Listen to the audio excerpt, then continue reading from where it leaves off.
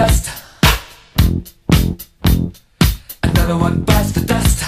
And another one gone, and another one gone. Another one bites the dust.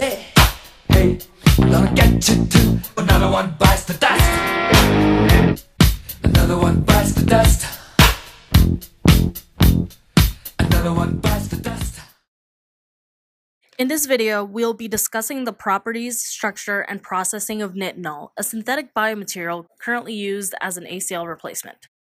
The anterior cruciate ligament, or the ACL, is one of, the, of two cross ligaments that hold together the tibia and femur. The other ligament is the posterior cruciate ligament, or the PCL. The ACL's purpose is to make sure that the tibia and the femur do not rotate too far from each other.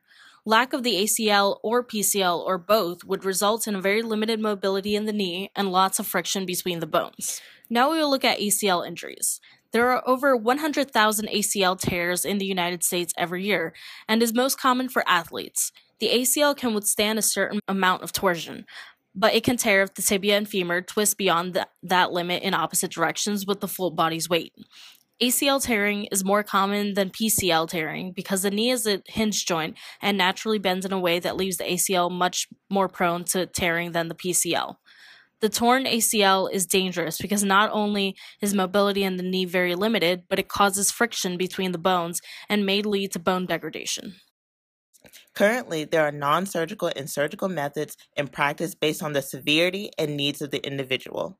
For patients with low daily activity levels or are of an age that can be a risk factor, a non surgical method is usually proposed. This method includes bracing and physical therapy and makes sure that the overall stability of the knee is mostly maintained. However, for the ACL to heal, the patient will need surgery. This is a process where the ligament is reconstructed by replacing the torn ACL with a tissue graft from the new ligament to grow on. The source of grafts used are from hamstring tendons, quadricep tendons, and mostly and most common, the patellar tendon. This is the tendon that runs between the kneecap to the shin bone. ACL repair surgery is often a crucial procedure for the patient. Without it, they would not be able to go back to work or continue the activities that they value.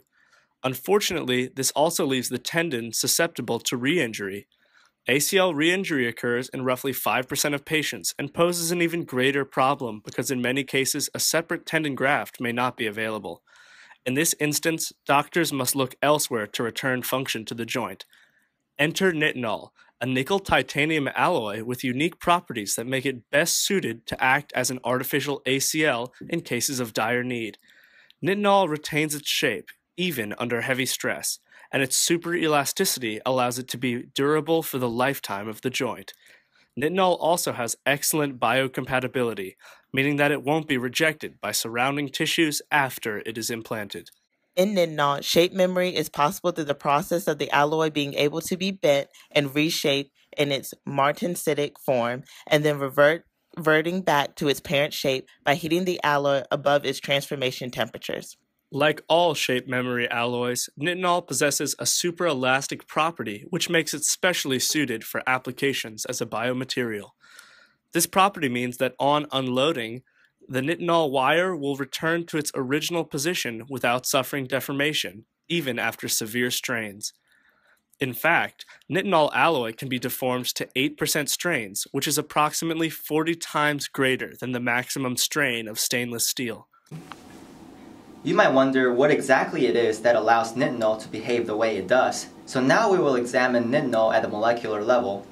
At very high temperatures, about 500 degrees Celsius, nitinol takes on a cubic crystal structure that is called austenite. But at a lower temperature, about negative 50 to 160 degrees Celsius, it has a monoclinic crystal structure called martensite. Here we have a simple representation of the 3D structure of nitinol. The orange blocks represent austenite, while the blue blocks represent martensite. Nitinol in the austenitic phase can be made into any shape at a very high temperature, and when it naturally cools down to room temperature, it transforms into the martensitic phase. It does this without changing the overall length of the nitinol. Nitinol in the martensitic phase can be deformed with external force, and the bonds will reorganize themselves similar to a shearing mechanism into a shape that is about 10% longer than the original austenitic phase, which is an enormous amount for a metal. Shape memory occurs when we heat the nitinol back to a very high temperature, and it will return to its original shape in the austenitic phase because it is most stable at that temperature. The more important property for ACL replacement, superelasticity, occurs when austenitic nitinol with a different composition transforms into the martensitic phase with stress instead of temperature change. When it's deformed, since it is most stable in the austenitic phase, it will naturally spring back. This is responsible for the superelastic property.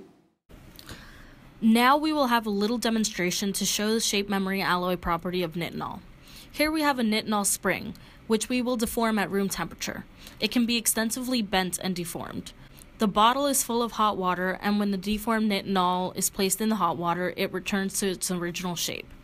The longer the wire is heated for, the more malleable but less strength it will have, so a trade off is strength for malleability. Finding the proper balance for the requested nitinol standards is crucial. For the next topic, we'll look at how nitinol is actually processed. And for the for this topic exactly, we will assume a 50-50 weight percent of nitinol for all processing methods. The first step is to have continuous strain annealing at 450 C to 550 C and at 35 to 100 MPa. A system like the one in the picture ensures uniform thermomechanical properties throughout the wire.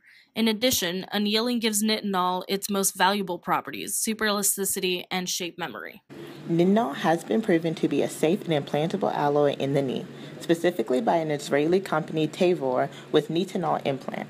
It does provide an option for people who have severely or repeatedly torn their ACL, but is promoted as more of a last resort option for people because nitinol is not easily welded or machined and is very expensive. Studies are now being conducted on how to produce a hybrid of steel and nitinol to take advantage of the combined high tensile strength, elasticity, and resistance to fatigue and corrosion. Overall, nitinol is a promising biomaterial with unique qualities and applications, including ACL replacements.